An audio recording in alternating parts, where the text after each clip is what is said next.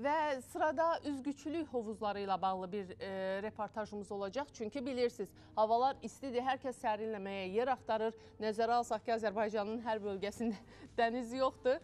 E, ona görə də məcbur olur ki, vətəndaşlar getsinlər bu xüsusi üzgüçülük hovuzlarından istifadə etsinlər. Və nəzərə aldıq ki, bizdə bizə çoxsaylı su ilə bağlı, suyun qıtlığı ilə bağlı mesajlar daxil olur. Maraqlı gəldi ki, bəs bu üzgüçülük hovuzlarında pandemiya dönəmində e, sular nə vaxtdan yenilənir, təmizlənir? Ümumiyyətlə buna necə nəzarət olunur? Təmizlik işlərinə xüsusilə də və eyni zamanda təhlükəsizlik məsələsi də əsas gündəmdədir. Necə əməl olunur bu hovuzlarda? Bütün bu suallara cavab axtarmağa çalışmışıq.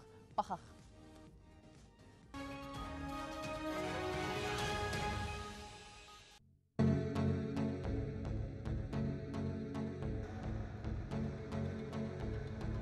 Üzgüçülüklə məşğul olmaq sağlamlığa gedən yoldur. Xüsusən də bu idman növü ilə uşaqlıq yaşlarından başlamaq daha da yaxşıdır.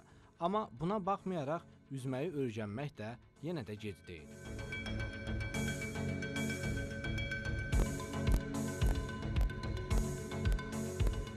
Belə baxıram deyəsən üzməyi təzə öyrənirsiniz. Bəli, bəli.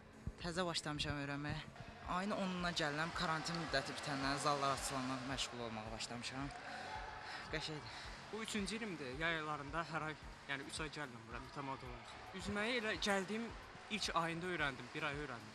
Yəni üzücülük e, sağlamlıqdır. Boyum uzanması üçün mən əvvəllər gəlirdim bura. Onda xeyrini görmüşəm. Bəs ümumiyyətlə neçə yaşdan uşaqlar bu idman növü ilə məşğul ola bilər?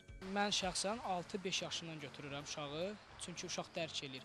Ə, Ayaq hərəkətləri, əllər hərəkəti eləyə bilirlər. Amma balaca hovuzda ora dayazdır deyən, orada 3-4 yaşından, yəni elə qundaq uşaqları da var elə hovuzlarda müəllimlər qundaq, uşaqlarla da işləyirlər. Yəni bu üzvçülər nə yaxşıdır ki, yaş həddi yoxdur. E, hansı dərəcələriniz var? Mən özüm 2-ci dərəcəli olmuşam, ə, institut qurtarıb və davam eləmişəm. Bura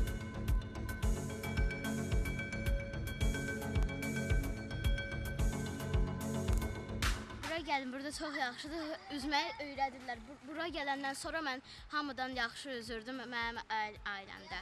Atam belə üzə bilmir, anam da. Amma sən üzə bilirsən. Hə. Üç nəvəmi gətirmişəm. Bilirəm ki, onların ə, ə, bədən vücud ə, demək ki, görünüş üçün o lazımdır, sağlamlıqlar üçün lazımdır.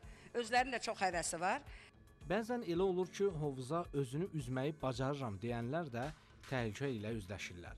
Ona görə də vaxtında təhlükəsizlik tədbirləri görülür. Yəni gəlir deyir ki, hə, üzə bilirəm, deyirəm ki, burdan ora kimi dayazdır, burdan o tərəfə dərindir.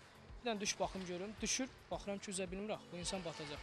Deyirəm, yəni ya gəl müəllimdən yazır, ya da xahiş edirəm bu məsəl üçün 15 metrə məsafə, ondan o tərəfə keçmə.